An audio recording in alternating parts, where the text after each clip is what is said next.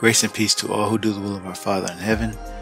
As I was scrolling through YouTube, um, actually getting ready to go to bed, I had noticed the thumbnail for the Global Citizen Festival this year. I guess it's happening now.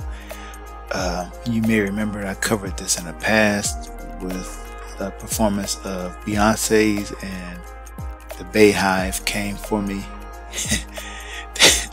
I had to deal with a bunch of uh, I had to deal with the Queen Bee's minions on that one.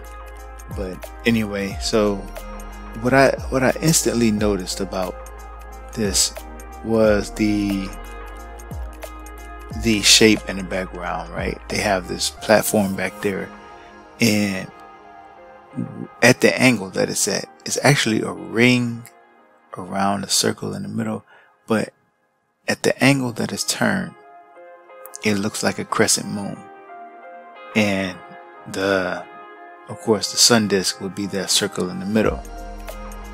So instantly you think about hathor right? The, the egyptian goddess hathor or baal right? The sun and moon together. And normally people will look at this and say well that's just coincidence. I just i don't think so. I won't i won't give these people the benefit of the doubt. So you have Mariah Carey out there, just so you know. It's Mariah Carey.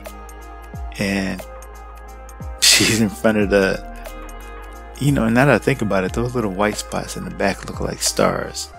So yeah, I would say that definitely does represent the sun and moon and really quick, I really I don't want to make this video go on for a long time. I, I intended it to be very short. So um, just low hanging fruit here. Of course, you see the butterfly, right? And of course, butterflies are typically associated with most people think mind control, right? MK Ultra. But I do know that butterflies were symbols of um, symbol for the soul, right? The soul or the, or the spirit is what, or the psyche.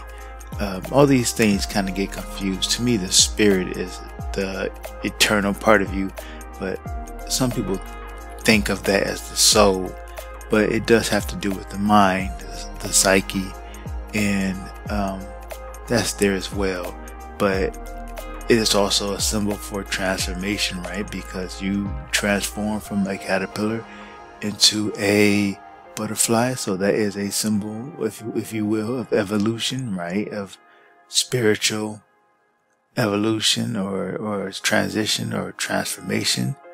So that is, um, when you think about the mysteries and how they're all about ascending, um, uh, reaching through your limits and becoming um, something more, right?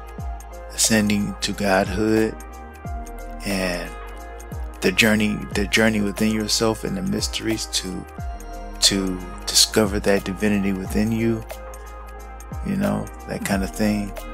Uh, they always have to put their symbols out there. Off the top of my head, this is just what I see there. That's pretty pretty par for the course for these people. But there's actually something else that I wanted to show you all, and uh, I won't play the whole video, but I will just basically ask you all to go watch the original, uh, support it because I think it's a very it's a very good video and it has some information in there. Wow. Um, I just say it supports and backs up some things that I found myself, um, I would say, especially in this video, the image of the beast, the AI goddess, which was actually sort of a follow up to this one. But um, I, I would recommend that you watch the image of the beast, the AI goddess Gaia, and also this video about the Noahide laws and the world religion um, to go with this video of his. His channel is God's Witness, and I will just show you a little bit of it. I don't want to play the whole thing because I want you to watch it his channel and give him a give him some likes. Thing for climate, right? They say how fast it is. This does not use Bitcoin technology. Actually, laying this out. Nobody really saw it. If you go and have a look at TV shows in the 70s, or you speak to your parents if they're still so around. So he's at the COP27 website. Used to work, and there never used to be a problem. All right, they slowly bring this in, okay, and it's or at least not the COP27 website, but